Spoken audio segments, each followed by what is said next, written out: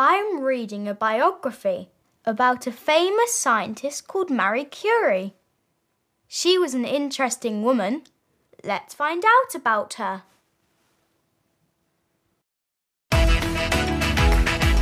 Marie Curie A Life in Science.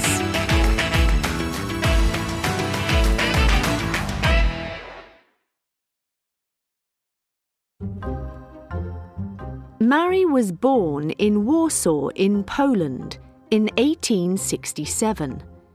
She was the daughter of two teachers. At school, Mary was an excellent student. She was very intelligent and she wanted to be a scientist. Hmm.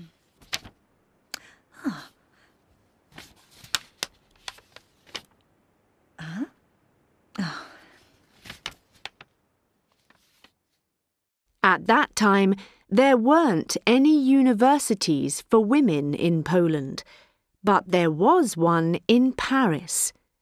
Marie didn't have any money, so she worked as a teacher for five years.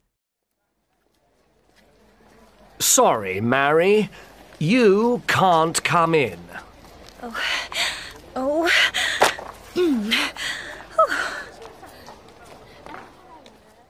In 1891, she went to Paris to study science and maths.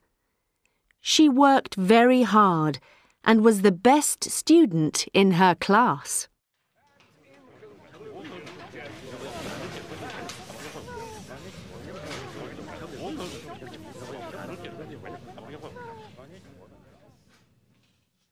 In 1894, Marie met her husband, Pierre Curie. They had two daughters, Irene and Eve. Pierre was also a scientist, and he and Marie worked together. They discovered two chemicals, radium and polonium. They worked with other scientists to develop X-rays. In 1903, Marie and Pierre Curie won a Nobel Prize. Marie was the first woman to win. In 1906, she became the first female professor at the University of Paris. She can't be a real professor. She hasn't got a moustache.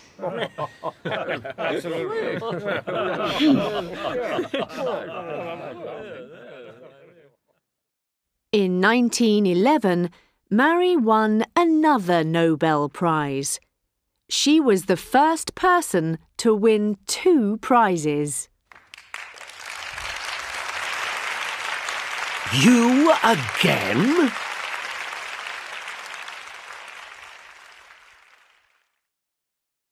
In 1914, World War I started. Marie wanted to help, so she worked for the Red Cross.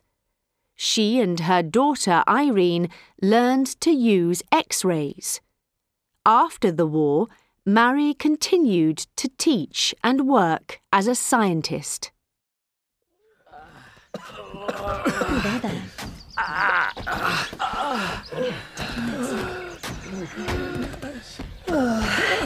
I think I prefer the laboratory.